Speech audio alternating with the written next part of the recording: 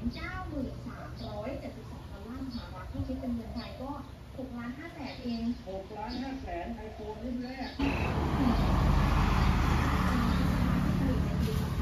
ถูกประมูลไปในราคา193,372ดอลลาร์สหรัฐที่คิดเป็นเงินไทยก็6ล้าน5แสนเองหกล้านห้าแสนไอโฟนรุ่นแรกเขาบอกว่าถ้าไปเทียบกับราคา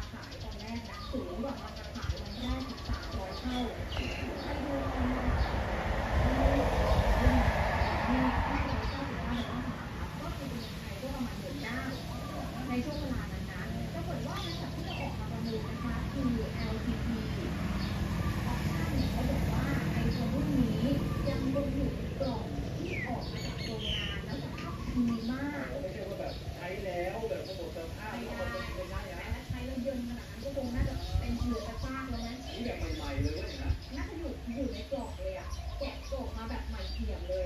เขายังบอกด้วยว่า iPhone เป็นของสะสมระดับไฮเอ็นที่ได้รับความนิยมมากๆนะรุ่นแรกเนี่ยนะคะ แล้วก็หายาสุด